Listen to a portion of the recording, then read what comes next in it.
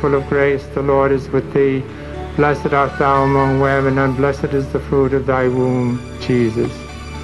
Holy Mary, Mother of God, pray for us sinners, now and at the hour of our death. Amen. Lord God, please grant us the power to love. Give every husband the light to see the beauty of God in his wife. Give every wife the grace to see the love of God in her husband. Give all parents the wisdom to realize that the real treasure of their house is their children and to love their children with all their hearts. Give children the grace to love their fathers and mothers and to realize how good they are. Please give us the wisdom to see how true it is that the family that prays together stays together.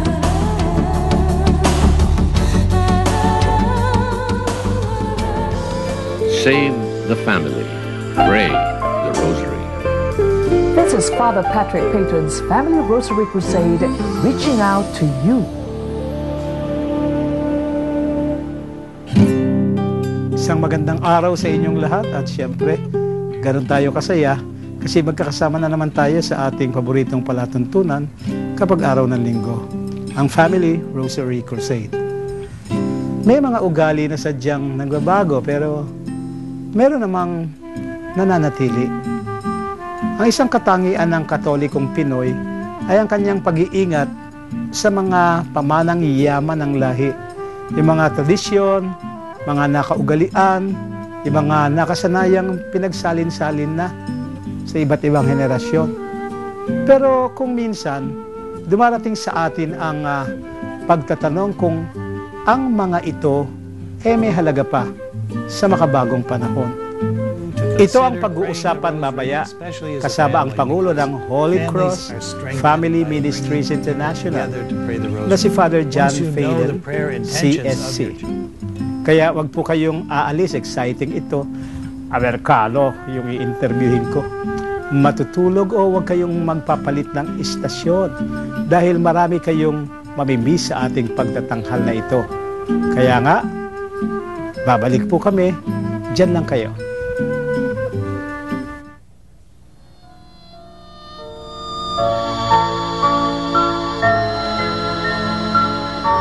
My dear, dear children, I, your mother, love you, and I wish to urge you to prayer.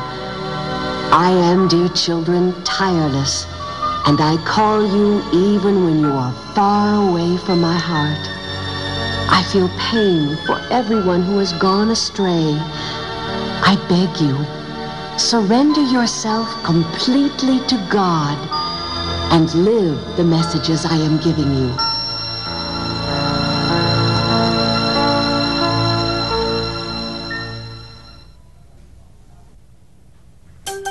Get ready to interact with people in the know in today's edition of Church Alive. Nagbabalik po ang Family Rosary Crusade. Hmm, malamang sa hindi, pag dumukot ang isang nakatatanda nung araw sa bulsa o bag, may laman itong rosaryo. Uh, halimbawa ako, ganito, nakatatanda daw. Uh, uh, hanggang ngayon, I think, pag dumukot talaga, meron laman na rosaryo, malaki, maliit, pero may rosaryo sa bulsa. Yeah, right, Father? All right. Eh, si Father din, no? Nakita mo. Meron din. You want to do it again? We both get our rosary? Yeah, so it's there. Dati nakatatanda, pero ngayon hindi. Kahit bata, there you go. So, he has the rosary. I have a small one because I'm smaller. It's a big one. No? Then you can also use the one made in Baguio. No, malaki yun, saksak mo sa bulsa mo. ah, marami tayong ganyan. Kahit bata na ngayon eh. I remember every Bosconian also has a rosary in his pocket. Supposed to be every Atenean has a rosary in his pocket. Ang debosyon sa rosaryo ay nagsimula ng sinimula ng mga monghe nung sila ay nangangailangan ng paraan na bilangin ang mga paulit-ulit sa dasal nila sa araw-araw. Mula sa mga maliliit na bato, nakagawa ng kwintas na may mga butil para makapagbilang. Hindi bababa sa 15 minuto ang pagdarasal ng buong rosaryo. Ito yung short version na walang litanya, uh, wala yung nadidinig mo sa matatanda, yung talang maliwanag, pinto ng langit, wala yun ha. At iba pang dasal. At ang mungkahi nga eh, araw-arawin at samahan pa ng pagninilay sa gitna ng mga misteryo. Pero sa panahon kung kailan lahat ay mabilis, instant, makabago, may mga deboto pa bang nagtitiyagang magdasal ng isang debusyong kakain ng mahabang oras at paulit-ulit ang mga dasal? Sasagutin natin yan ngayon sa ating talakayan. At ang pinakamahusay na sasagot dyan ay ang ating, ng ating mga tanong ay ang mismong International President ng Holy Cross Ministries, si Father John Palan at uh, CSC. So, magandang umaga, Father uh, John. Right. Thank you. Thank Uh-huh. you. It's good to be here. Yes, so that was tested, you see. And that is true. Every, almost everyone, no, uh, really has a rosary in his pocket. Uh, but Father, how different is this devotion to the Holy Rosary compared to the other to the other Catholic prayers, other Catholic devotions? What is its main appeal? I think the main appeal is that this is a devotion, especially for lay people. Some of the devotions that we have in the Catholic Church, like the uh, Eucharistic adoration, require the presence of the Eucharist to be there. A person Yeah. has to be in the presence of the Eucharist. With the Rosary, you can carry the Rosary anywhere, and Anywhere. you can pray the Rosary anywhere. And even if you don't have a Rosary, you have the Rosary your mother gave you. You know, your ten fingers, and you can pray the Rosary. And it's a way of uh, keeping from wasting time. If you're waiting for a bus, instead of just waiting, That's waiting, right. You can do it inside you the can bus pray. You can pray. People don't even have to know that you're praying the Rosary. Mm-hmm. So also with the office, the Divine Office is another devotion that we have. But uh, for that, you know, for the majority of people, they do it in community. They do it together Mm-hmm. with other people, or they do it with a book. They might do it with a handheld send pho- a cell phone or something. But this is really uh, an apparatus for the lay people because it doesn't require you to get into all the Psalms. It just requires you to know the Our Father, the Hail Mary, and the Glory Be, and most importantly, to know the mysteries of the Rosary because that's really what we're supposed to be thinking about and uh, contemplating as we pray each decade of the Rosary. So, contrary to what others uh, believe, it is a waste of time because it takes uh, quite uh, several minutes to do it. And what, you, what you've said, Father, is that no, this is a way of uh, Keeping from wasting time. keeping from wasting time. Exactly, exactly. Wasting time is when your thoughts are floating all over the place and you have Uh-huh. no way to control them. Here, if you take, let's say, the, the uh, second mystery of the Rosary, the joyful mystery, and the visitation, and you think about it in the life of Jesus, it would be when Mary visited Elizabeth and the, they were both expecting their children, and John the Baptist leapt in the womb at the presence of Jesus. Interesting that the first one to recognize Jesus as the Savior was an unborn baby. And uh, that visitation should help us think of our own visitations. We're having a visitation right now, you and I Yes. and we're having a visitation with our listeners. And that happens in the life of everyone. We have visitations all the time. So people can think about, oh, I, I should visit my neighbor recently Yeah, because my neighbor ha- wants some, me to visit sometime and I keep acting too busy. Maybe I should go visit that neighbor. Maybe so and so is in the hospital and I should I- give them I a visit. visit. You know. So our visit is when we're trying to be Christ for another and when we're trying to discover the Christ in In another. others. So that makes a visitation very important in our own life as well as in the life of Christ. Mhm.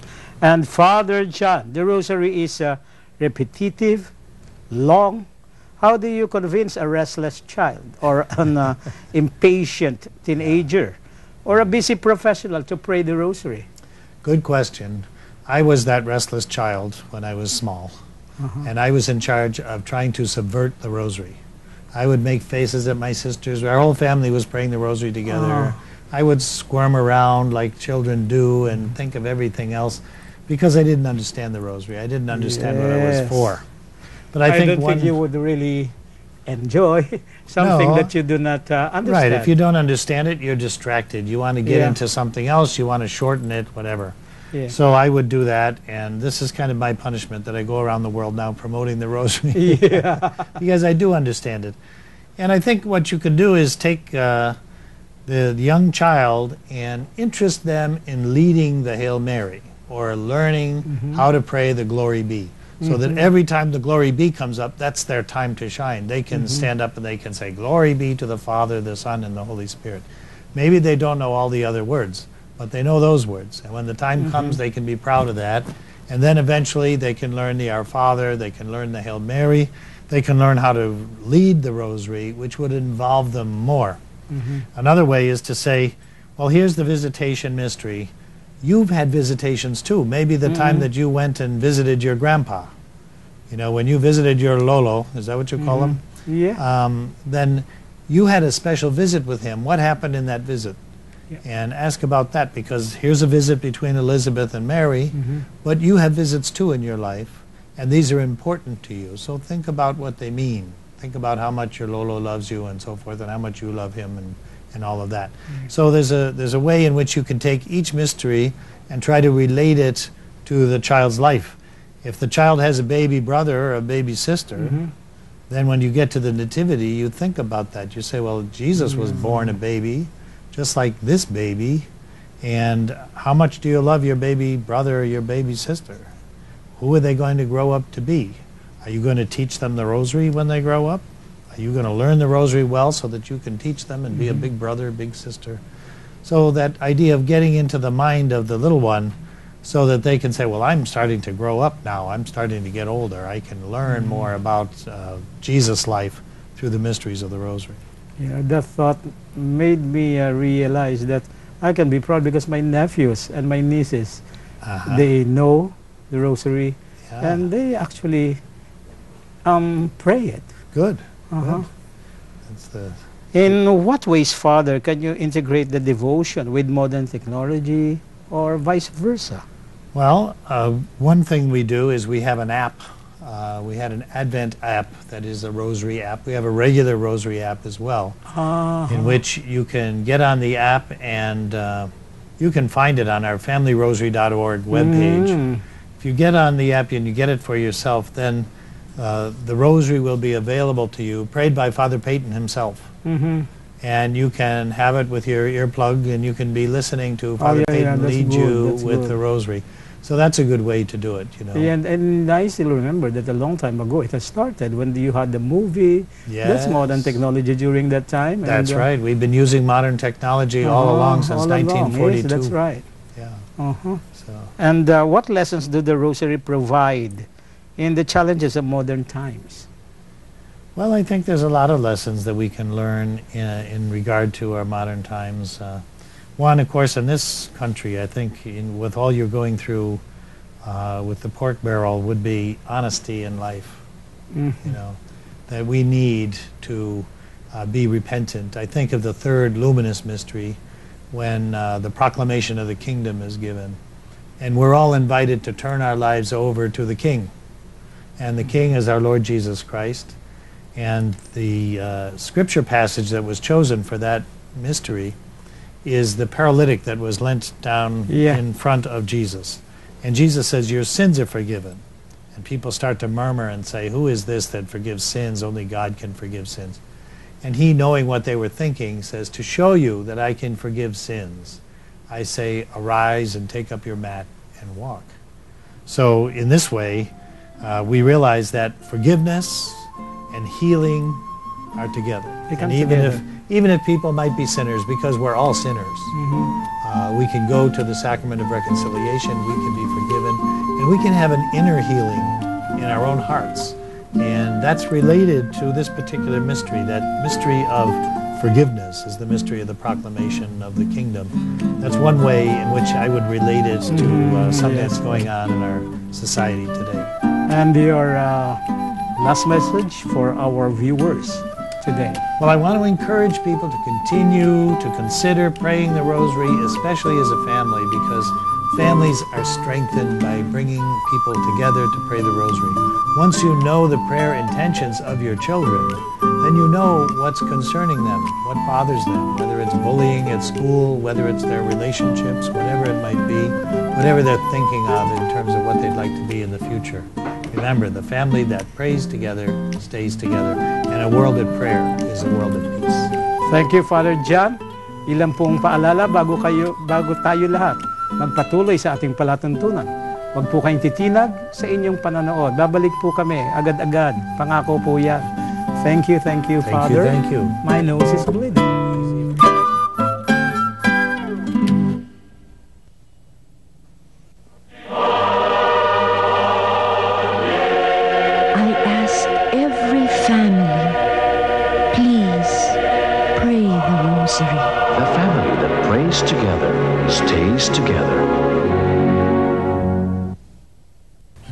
Silipin muna natin ang mga kaganapang pangsimbahan sa loob at labas ng bansa. Kasama si Claudine Cialcita sa Dateline FRC. Here now is an update of news and events in and around the Catholic Church. This week on Dateline FRC. Hello, I'm Claudine Shalsita, and you are watching Dateline FRC Special, where we see the marriage of faith and culture the Pinoy way. A lot of people would commend the fighting spirit of the Filipinos because even in the toughest of times, we still manage to see the bright light and appreciate the beauty of life. We are a people of courage, perseverance, and adaptability. How many crises have we survived?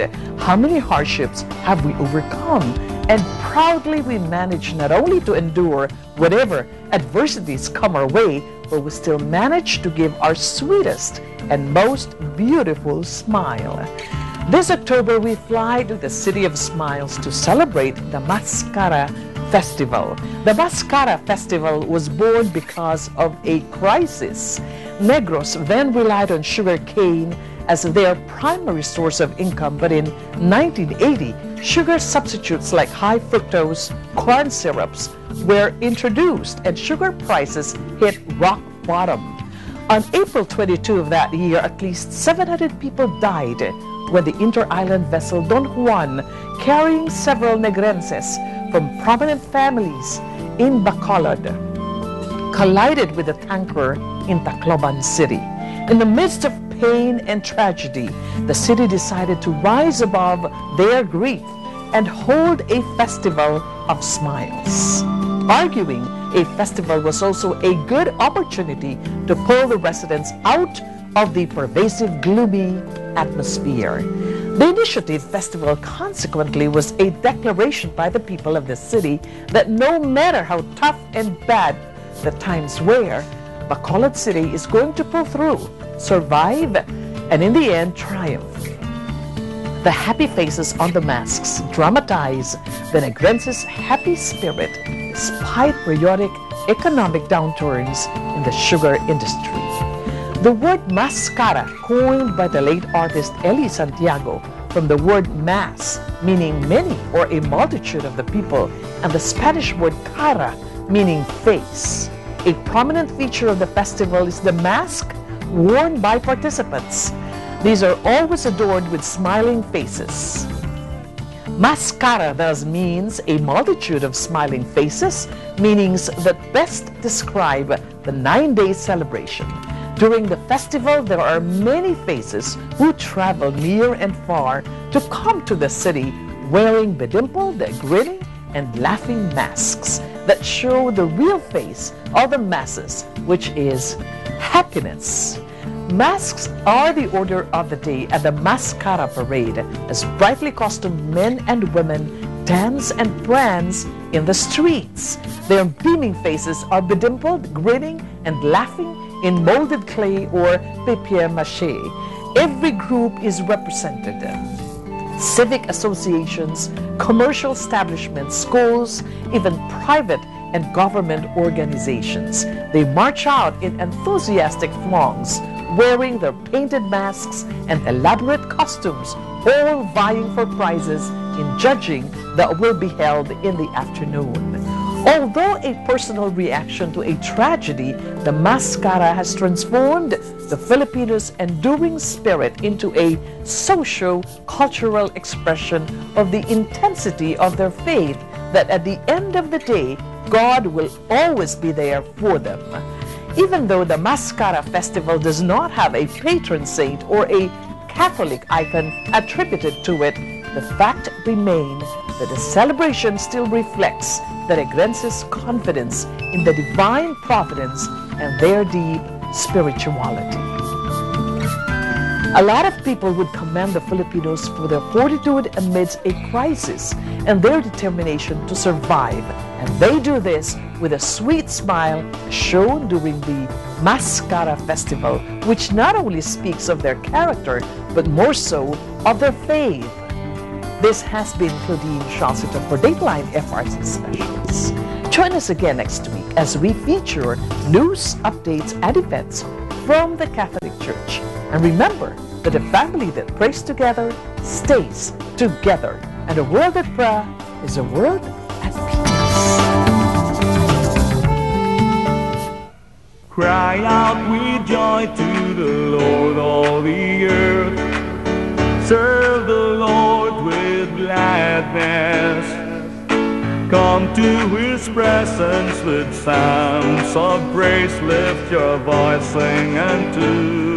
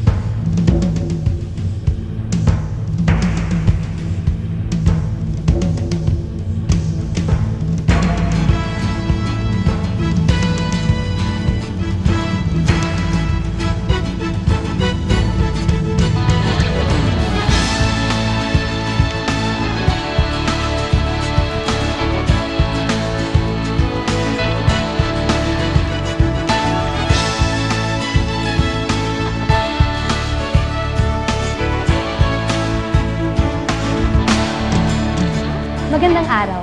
Ako po si Cecilia Datu at kayo ay nanonood dito sa mga kwentong buhay sa Family Rosary Crusade ng Servant of God na si Father Patrick Payton. Tampok sa ating salaysay, isang mag-anak na isinabuhay ang kanilang pagiging kristyano sa pamamagitan ng pagtulong sa kapwa. Mga kaibigan, ang kwentong buhay ng pamilya Crisostomo.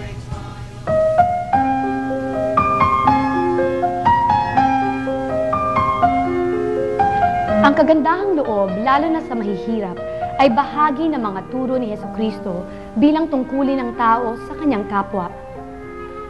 Mahirap sundin ang ganitong asal pagkat likas din sa tao ang maging makasarili. Sa pananaw ni Marcelo at Emilia Crisostomo, ang pagtulong sa kapwa ay kasama sa tunay na layunin ng buhay sa mundo. Naniniwala sila na anumang yaman ang makamit ng tao ay hiram lamang o ipinagkatiwala ng Diyos upang ibahagi rin ito sa mga nangangailangan.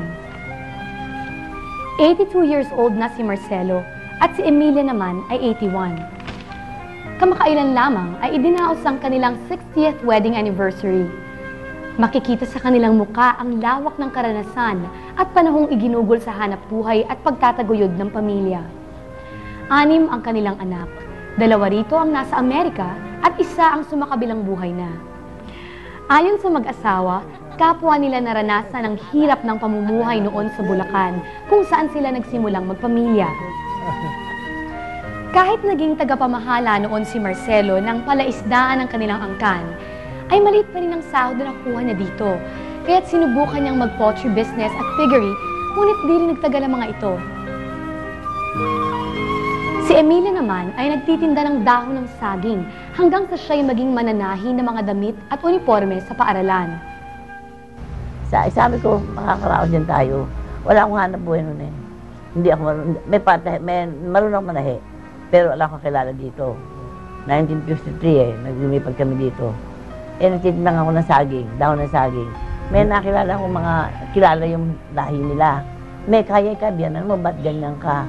Ba't ka nagtitinda ng ganun? Eh, nakakatanga lang naman ako sa akin, eh, kinukuha ko dahon na pinagbibili ko. Ano ka, alam mo, hanap buhay, manahi. Nakapag-alaga. Magpatahi ka ika at ikaw ay ka, eh, kami sa iyo magpapatahi. Yun ang bisa. Nagkaroon ako ng patihan. Siya naman may manukan dito. Poultry dito ng manukan sa kababoy. Adali. Bibit. Eh, minalas naman. yung, yung utang namin sa BBP, 43,000, no, way back in 1960, ah, 1972. Eh, hindi namin nabayaran.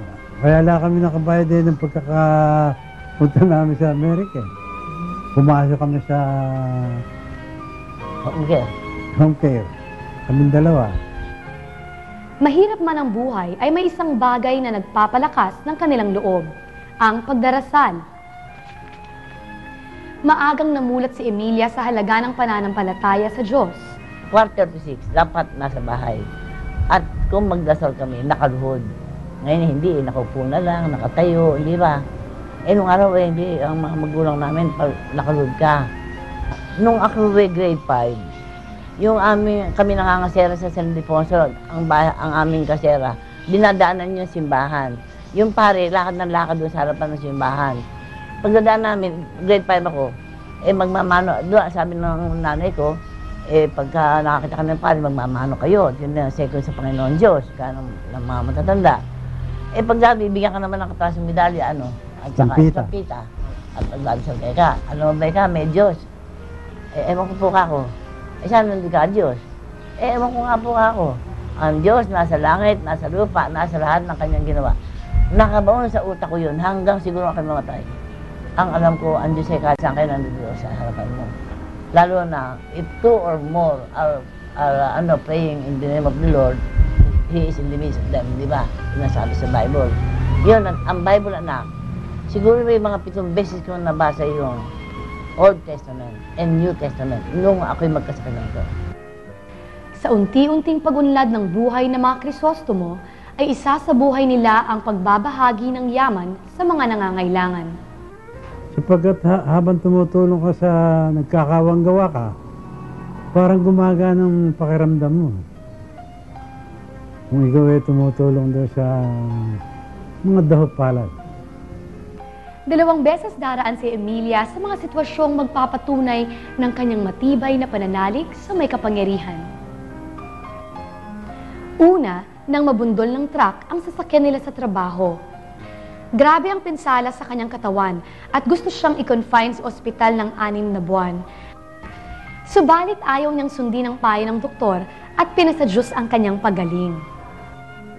Ang aking ano, sa pananampal, laki ng pananampalataya mo sa Panginoon, eh mabubuhay ka. Dahil ang, ang mukha ko raw, nung nabali nga ito, nandun na ako sa Manila Medical Center, lahat ng magsabing mga ano, nang dumalaw sa akin, ang mukha ko gabalanggana dahil namaga. Pero ang akin namang isip, eh tama. Eh sabi ko, ang unang sabi ng doktor, ako raw hindi makakaalis doon hanggang hindi, ah, mga anim o tatlong tao, buwan o anim na buwan. Eh sabi ko, ang makapagsasabi na noon eh Diyos, hindi kayo. Sabi ko doon kay Dr. ah, Recto. Kasi sabi niya, hindi, raw- hindi ako nakakikilos eh. I only lay down flat. Dahil ah, right side, dahil dito nabali eh. Nabali aking left femur. May, may lagyan ng bakal ito. Pagkatapos nung maano, eh, sa pananampalataya, siguro ang kuwang ko eh, ang aking, ah, ang aking nagpalakas na loob. Ikaw nga sa kanya, lahat ng hilingin ko, eh binibigay sa akin eh. Kaya ako eh, binibigay sa akin. Noong aking maaksidente nang yun, eh ang sabi ko Panginoon, kawawa po yung mga anak ko kung aking kukunin mo. Sana po bigyan pa ako ng mahabang buhay. Nabuhay naman ako. After 15 days, pinilit kong umuwi. Ang sabi, hindi raw, paano pag-x-ray? Ako kako merong kumparing uh, director ng provincial hospital. Tawagan lang yun, kukunin ako ng ambulansya at stretcher. Ganun ang nangyari. After 15 days, nandito ako. Hanggang nag-recuperate ako after 3 months, nakakalakad na ako ng may hawak na may, may ah, ano, saklay. Yun ang nangyari sa akin. Ang pangalawang pagsubok sa kanyang buhay ay naganap nang matuklasang siya'y may cancer at kailangang sumailalim sa chemotherapy. Kinimo ko ng anim na, ng dalawang taon, 14 sessions yon. Ang sabi ng aking doktor, ang aking oncology ay in check. She's the best uh, patient I have. Never na, nag, na nag-utos ng kumuha ng tubig or napasama sa banyo or kung ako iuwi na, eh lalagay ako sa wheelchair. No, I walk hanggang doon sa elevator. Bumababa ako, inaantay ako niya sa baba. Dahil inaantay, alam ko nandun doon sa baba, papanik mo na siya. Ando doon na ako sa baba. O di ako magpapaalam na, alis na ako. Papasok ko ng lunes, uwi ako ng Miyerkules ng tanghali. Ganun ang gawa. Hindi ako nag-utos. Kaya sabi niya, the best, the best patient yan. Hindi marunong mag-utos. Hindi marunong itulak sa wheelchair. Bumababa ako. Siguro nga ka ako, dahil nga sa, ang alam ko eh, may kasama ako eh. Kaya hindi ako na, at saka mag- pagka inong kiniki mo, may, mayroong suso ka. May nahihilo. Do you feel nausea? No. Nothing. Wala akong nararamdaman. Siguro nga dahil sa pananampalataya. Sa ikalawang bahagi ng ating tampok na salaysay ay makikilala natin ang dalawa sa mga anak at isang apo ni na Emilia at Marcelo Crisostomo. Sila ang magpapatunay sa bisa at halaga ng mga aral ng kanilang mga magulang at kung paano nila ito isinasabuhay. Ito pong muli si Cecilia Datu para sa mga kwentong buhay ng Family Rosary Crusade ng Servant of God na si Father Patrick Payton. Magkita-kita po tayo sa susunod na linggo. Natatanglaw sa ating pagyabang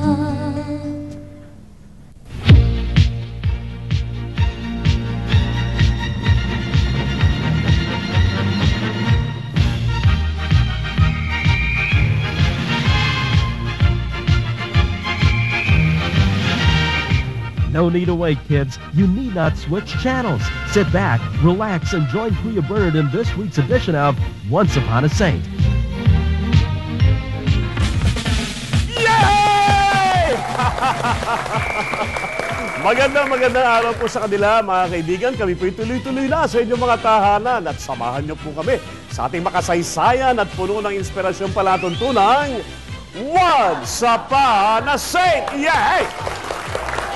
Ito lamang po ang tanging palatuntunan sa telebisyon kung saan nalalaman natin ang totoong buhay at pakikipagsapalaran ng mga tunay na superheroes. At sila'y walang iba kung hindi ang mga banal. Yay! Kasama pa rin natin ang mga mag-aaral mula dito sa...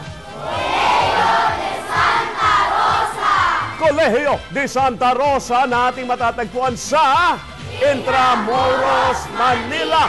Yes! Iba pala yung Santa Rosa doon sa kabila sa May Makati. Ito pala yung original na Colegio de Santa Rosa. Naku, maraming salamat po ha sa pagbibigay sa amin ng impormasyon. Ano na nga ang pangalan ng ating uh, santo?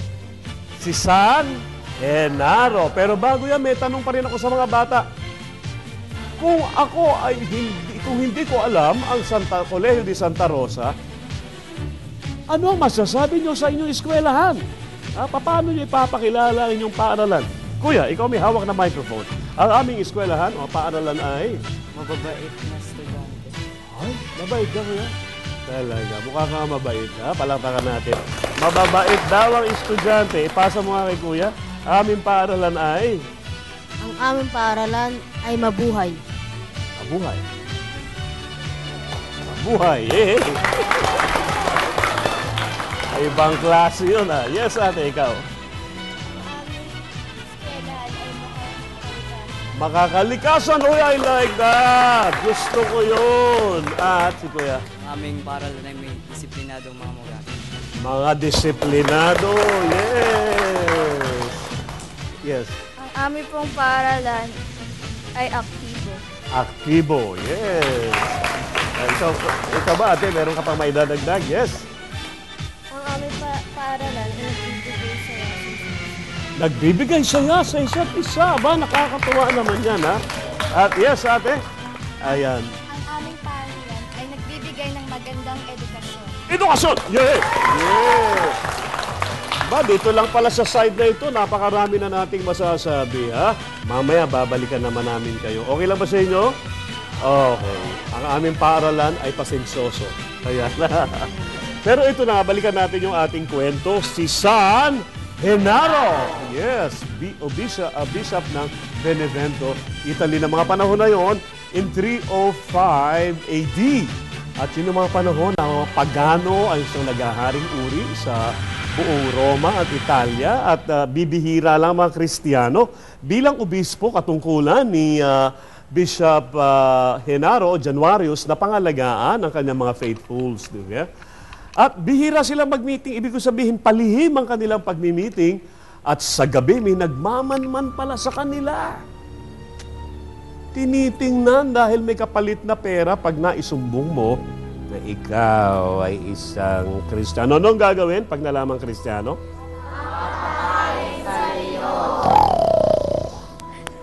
O kaya ay? Ii! At kung mabuhay ka pa, pag nabuhay ka pa doon sa ginawang dalawa na yon, pupugutan ka ng ulo. Pag nabuhay ka pa rin, ano kayong gagawin na sa'yo? Abay, kahanga-hanga na yan. At napansin nung isang matanda na may tumalilis. Sino yan? Sino y- Mga kawal Romano. Tapos pumasok siya sa loob. Pumasok sa loob ng bahay na yon. Obispo, obispo. Bakit? Eusebia. Bakit? May mga kawal Romano doon. Nakita ko yung isang lalaki nagbabantay kausap. Tapos tumakbo na sila. Sabi ni Sosius, Mahal naming obispo, natatakot po kami. Baka yan yung mga pinakawalan nilang mga nagmamanman sa ating mga Kristiyan. Huwag ka matakot. Huwag ka matakot. Kasama natin si Jesus. Sabihin mo, kasama natin si Jesus. Kasama natin. kas- Sabihin mo, kasama ko si Jesus. Kasama niyo ba si Jesus? Sabihin nga natin, kasama natin si Jesus. Lala- Lumalakas ang kanilang loob. Kasama natin si Jesus. Tapos itinuloy nila ang kanilang gawain na pag-aaral ng buhay ni Kristo, ng mahal na birhen, at sila ay patuloy na nagdarasal. Mga bata, lagi nating tatandaan, sa anumang pangyayari, ang pinakamabisa nating kalasag o armor ay pagdarasal. Kailan tayo nagdarasal? Kailan tayo nagdarasal? Every day. Pero kailan? Pag tayo ay may problema, pag tayo ay may examination, pag tayo ay dapat magpasalamat bago kumain, pagkatapos kumain. Lahat ng oras at lahat ng sandali ay dapat tayong nag dahil ang ating hininga ay isa mismo uri ng dasal. At dahil dapat tayo magdasal dahil kasama natin sino? Kasama natin si Jesus, kasama natin ang anak ng Diyos, kasama natin ang Diyos. Nabuhayan ng loob sila, Sosius, si Juliana, si uh, uh, Josephus, si Festus, at sila ay lumakas ang loob. Gabi na nang sila ay umalis. May dala silang sulo. Wala namang mga street lamp. Sulo. At sila ay nilamon ng dilim sa dako pa roon. Huli ka! Biglang hinuli. Ka, huli ka! At si Juliana, kinuha na ganyan.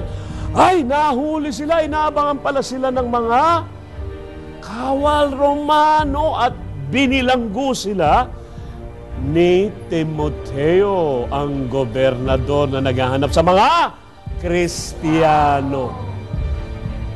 Hindi sila nakauwi. Naging bilanggo yung pitong kausap ng obispo ng gabi na yon. Mahal na obispo. Mahal naming obispo. Eusebia, bakit? Nalulungkot ko pong sabihin sa inyo. Huwag kang umiyak, Eusebia. Ano nangyari? Nakabilanggo na po sila Susus. Si Juliana at yung lahat ng kasama na yung gabi. Hindi maaari. Hindi maaari. Kailangan kong puntahan sila. Huwag po, pag nalaman nila na kayo Kristiyano, ipapakain kayo sa mga leon. Ipasusunod kayo kay pupukutan kayo. Kasama ko si Jesus. Pero ma, Kasama ko si Jesus, Eusebia. Maniwala ka sa akin. Kinabukasan, inalis ang kanyang abito bilang obispo. Nagtungo siya sa bilangguan ng, ng pito. Nakapasok naman siya. At nakausap niya. At sabi niya, Yana, Josius, Festus, kumusta na kayo? Matakot po kami. Baka kung anong gawin nila sa amin. Baka kami, kami lang. Huwag kayong matakot. Kasama natin si Jesus. Ha, ha, ha, ha! Kasama nyo nga si Jesus dahil magsasama-sama na kayo sa bilangguan na yan. Tinulak siya sa loob ng mga gwardya mga kawal Romano ni Timoteus, ang gobernador ng kampanya doon sa Napoli. At maging si Bishop Benaro o si Januarius ay nabilanggo at ipinakalat sa lahat ng tao sa lugar na yon sa Napoli na ang mga bihag kristyano anong gagawin? Ipapakain sa leon. Susunugin ng o kaya ay pupugutan ng ulo. Ito na nga kaya ang mangyari kay San Genaro. Mga bata, abangan natin ang ika, ikaapat at huling kabanata ng kahindik-hindik na buhay ni San Genaro, obispo ng Benevento, ng ang patron saint ng Napoli, dito lamang sa ating palatuntunan. At siyempre, bago tayo tuloy magpaalam, ang lagi nating habilin at habilin sa inyo lahat ng mga banal, habilin sa atin ni San Genaro to always pray dahil kasama natin sino? Kasama natin si Jesus. Pray as a family because the family that prays together stays together. A world at prayer is a world at peace. Lahat ng yan dito lamang sa Once Upon a Saint. Yay! It's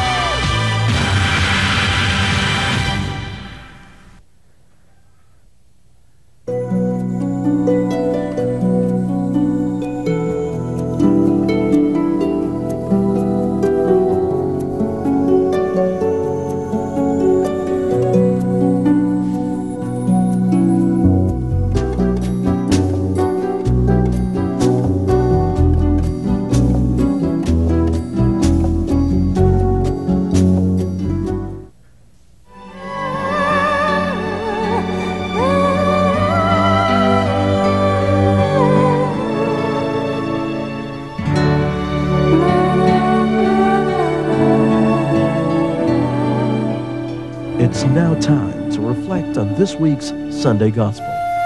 Magandang umaga po sa inyong lahat. Ako po si Father Rudolph Steven Enseño, OP ng UST Central Seminary. Sa ating pong ebanghelyo ngayon, tayo po ay, ang, ang ating Panginoon po ay nagtatanong na kung siya po ba ay babalik muli, makakahanap pa daw siya ng pananampalataya dito sa mundong ito? Ang, well, sa ating mga pagbasa po ngayong araw na ito, nagbibigay po ito ng mga tulong upang palaguin ang pananampalataya. Una, paan, unang paraan ng pagpapalago ay ang pagdarasal. Sa ating ebanghelyo ngayon, inaanyayahan tayo ng ating Panginoon, Heso Kristo, na magdasal ng walang hinto at ng hindi napapagod. Kaya nga po kami mga relihiyoso ay nagdadasal ng walong panahon sa isang araw po yan. Ha? Upa at upang ialay yan sa ating Panginoon at sa panahon ng, din po ng misa po. Yan po ay panahon na kami ay upang isa sa ika nga nila ay parang pinapabanal po namin ang araw, ang mga bawat oras para sa Panginoon. Pero kung kayo naman po ay medyo busy po at may mga trabaho, at least naman po, ialay nyo na lamang ang inyong mga gawain. Pabanalin natin ang ating mga ginagawa at ialay ito sa Panginoon. Just po, ang technique lang po dyan ay lagi nating aalalahanin na kasama natin ang ating Panginoon sa bawat sekundo ng ating buhay. Pangalawa po, ang pangalawa naman po, hindi naman, pero hindi naman po sapat kasi naman na tayo lamang ay nagsasalita tuwing nagdadasal. Kinakailangan po, makikinig din tayo sa, sa Panginoon. Kaya nga po si San Pablo, inaanyayahan tayo sa ikalawang pagbasa na suriin natin ang kanyang ang salita ng Panginoon. Basahin natin. Kung pwede nga po, basahin natin ng buo ang Biblia. Ah, of course, yung iba na naman ulit dito sasabihin, ay busy po kami, wala kaming oras magbasa ng Biblia.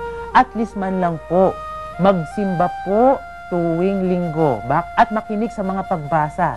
Dahil po, kapag ginagawa po natin yan, sa loob ng tatlong taon, na matatapos po natin ang buong Biblia.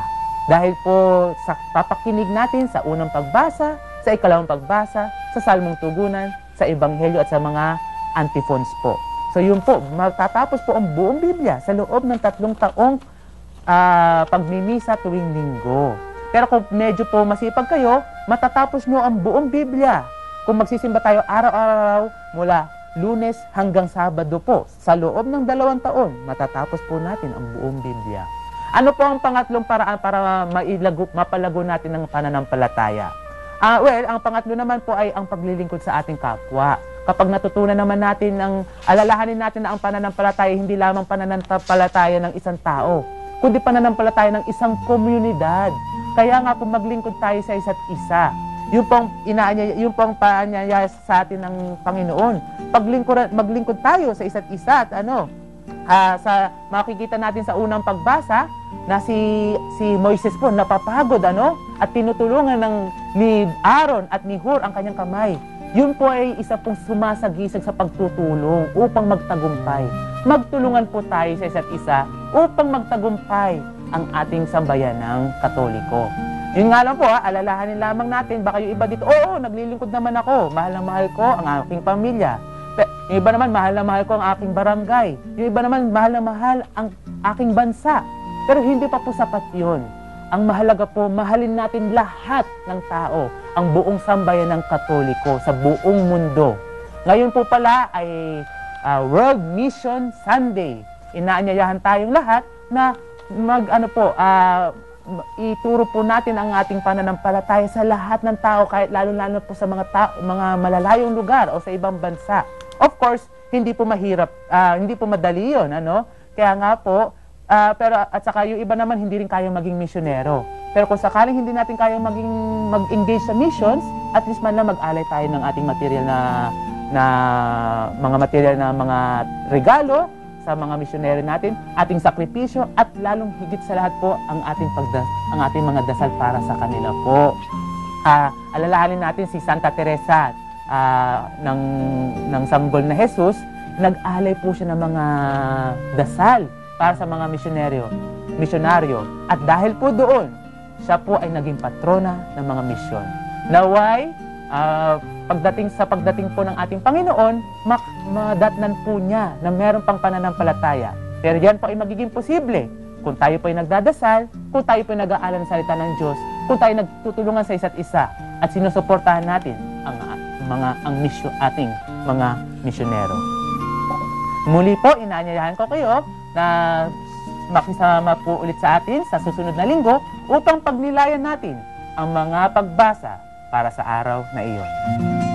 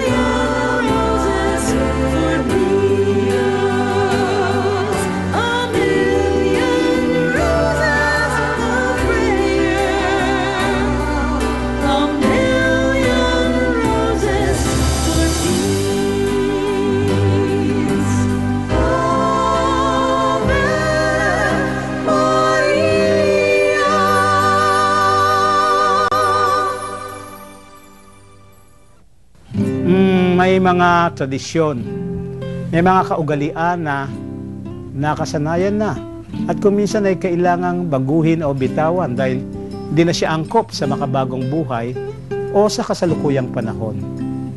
Pero ang isang bagay, gawi o paniniwala na bukal ng kabutihan at pag-ibig ay hinding-hindi mawawala sa uso. Debosyon sa banal na rosaryo, isang patunay kung gaano kalalim, kung gaano kalawak ang tiwala sa mahal na birhen at ang pananampalataya sa kanyang anak. Ang walang sawang pagdarasal ng mga panalangin sa rosaryo at pagdinilay sa mga misteryo ay isang pagpakikiisa sa, sa buhay, sa kamatayan at muling pagkabuhay ni Jesus. At sa ganitong paraan ay pakikiisa rin sa kanyang pagliligtas sa sangkatauhan. Ang debosyon sa rosaryo ay pagbabalik tanaw sa buong kasaysayan ng pagliligtas. Ganito, ganito ito kayaman, ganito ito kahitik. Ang debosyon sa rosaryo ay nak- nakapagbubuklod ng mga ah, puso ng buhay sa buhay dahil sa pananampalataya. Ganito po ito kabisa. Kaya't manatili tayo At ah, laging pagnilayan ang kataga ni Servant of God, Father Patrick Payton. The family that prays together stays together. A world that prayer is a world at peace. Ito po ang inyong kaibigan at kasama paglinggo, Father Eric Santos. At ah, bago tayo magpaalaman, siyempre, isang maikling pray over sa mga tagapanood nating may sakit.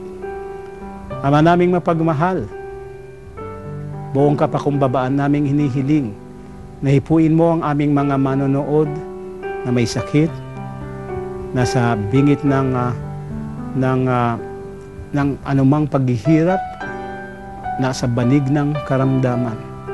Hipuin mo po sila, ipadalang yung Espiritu at ang pagpapala ng Panginoong Heso Kristo upang sila ay muling tumindig, mahanap ang kanilang sigla na tanging sa iyo lamang magmumula. Touch them, heal them, bless them. Touch them, heal them, bless them. Touch them, heal them, bless them. At sa inyong lahat, may the Lord bless you and keep you. May the Lord let His face shine upon you and be gracious to you. May the Lord look upon you kindly and give you peace. May the Lord bless you. In the name of the Father, and of the Son, and of the Holy Spirit. Amen. Sana gumaling na yung nose bleed ko.